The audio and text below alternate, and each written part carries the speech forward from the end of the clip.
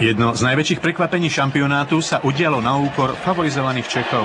Tí bez zaváhania vyhrali základnú skupinu a zdolali aj všetkých súperov v kvalifikačnej skupine, vrátane hladkého víťazstva nad Kanadou.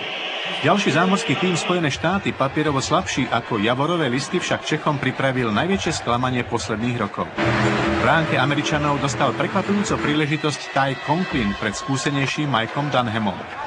Američania zaskočili domácich skvelým pohybom a väčšinu zápasu boli prekvapujúco lepším mužstvom. Pritom Česi si vypracovali sľubný dvojgólový náskok. Viac práce mal však domáci gólman Tomáš Vokoun, ktorému často museli pomáhať spoluhráči. Čechom pomohla prestávka. V druhej tretine viditeľne ožili a presadili sa aj v koncovke. Obranca Martin Škoula dal svoj premiérový gól v drese národného mužstva. Onedlho búrila zaplnená Saská aréna druhýkrát. Jáger svojím typickým spôsobom obkrúžil bránku a pretlačil puk do siete.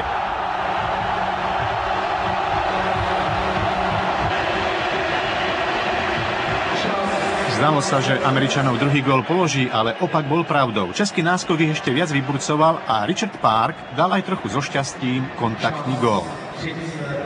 Spojené štáty opäť pridali a Vokoun musel čeliť ďalším nebezpečným situáciám, ale nakoniec dostal gól z náoko nevinnej akcie.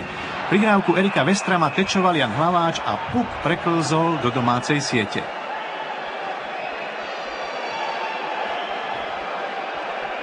Česi však predsa len mohli v poslednej minúte riadného hracieho času opäť zvrátiť zápas vo svoj prospech, lenže výborného šance zlikvidoval Conklin.